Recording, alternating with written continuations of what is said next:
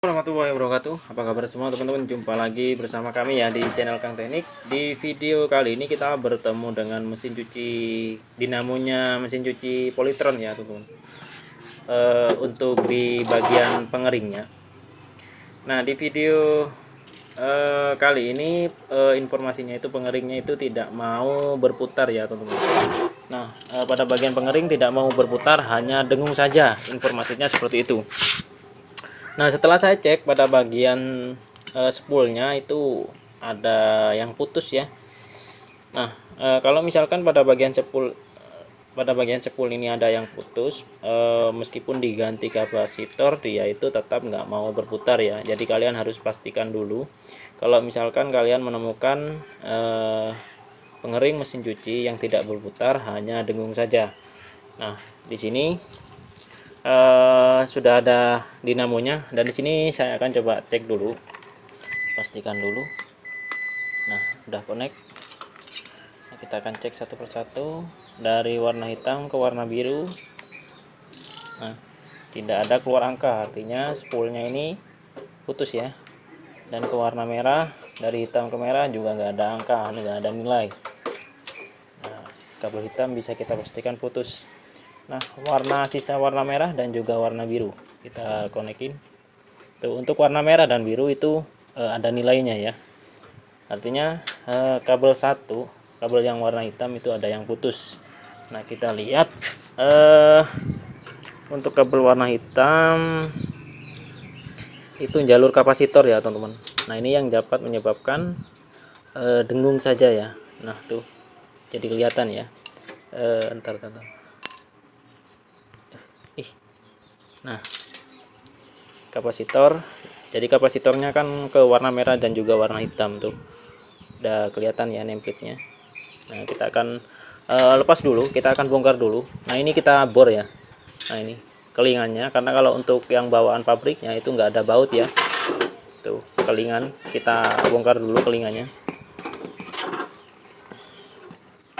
Kalian bisa menggunakan apa aja ya? Bisa menggunakan bor atau uh, cara yang paling gampang kalian ini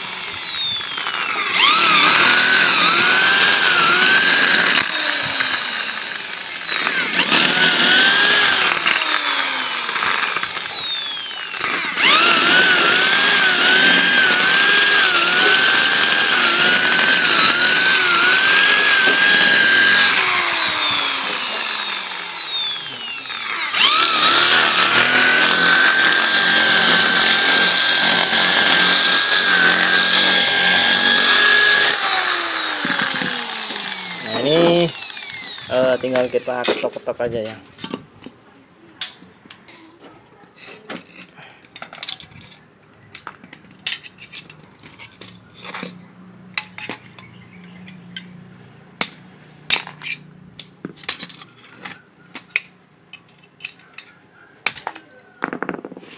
Oke, sudah.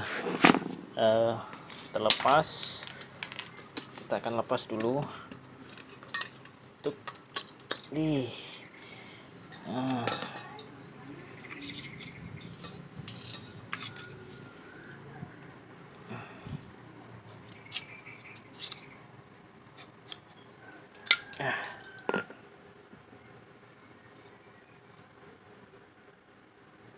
tuh.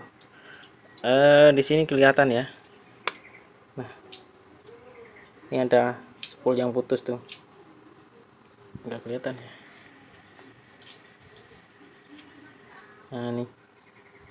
Ini udah ada kelihatan ya nah tuh. Sepulnya ada yang putus. Nah ini kita akan cari tahu ya sebuah kita akan lepas dulu.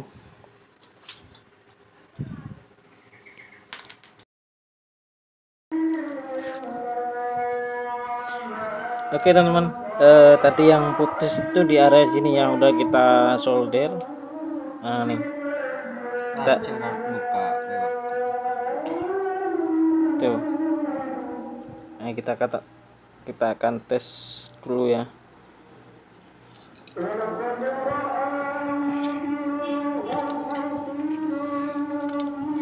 Tadi yang putus yang warna hitam ya. Nah, kita akan lihat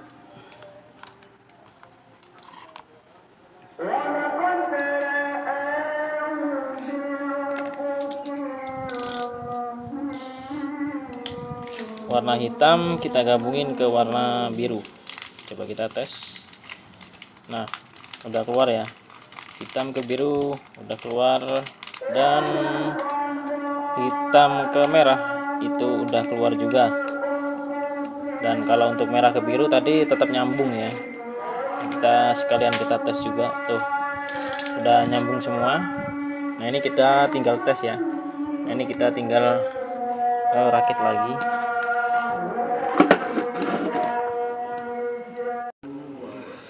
Oke, eh, untuk pemasangan pengganti kelingan tadi ya, kalian bisa menggunakan baut seperti ini, tuh. Nah, dan pastikan putarannya ini enteng ya. Nah, putarannya enteng. Sekarang kita akan coba tes langsung sebelum kita pasang. Untuk kapasitornya, kabelnya warna merah dan hitam ya nah ini kita gabungin seperti ini aja untuk kapasitornya. Tuh. Hitam. Nah seperti ini. Untuk kabel strumnya. Warna biru ya. Nih. Warna biru. Dan kabel satunya kita gabungin di warna merah. Nah udah seperti ini.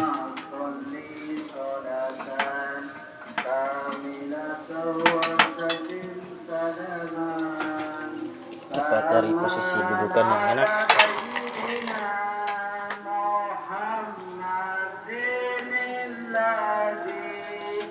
Kita langsung coba hidupkan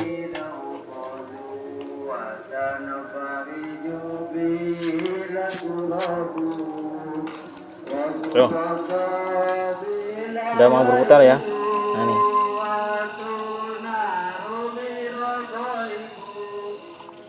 Nah, ini saya cabut. Hop, berhenti. Kita colokin lagi. Nah. Udah mau berputar ya.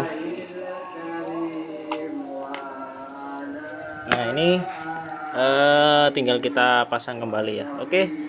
Eh, mungkin itu saja ya video dari kami. Semoga bermanfaat. Jika kalian ada yang perlu ditanyakan silahkan tinggalkan komentar di bawah. Jangan lupa dukung channel kami dengan cara tekan tombol like nya dan juga subscribe nya Assalamualaikum warahmatullahi wabarakatuh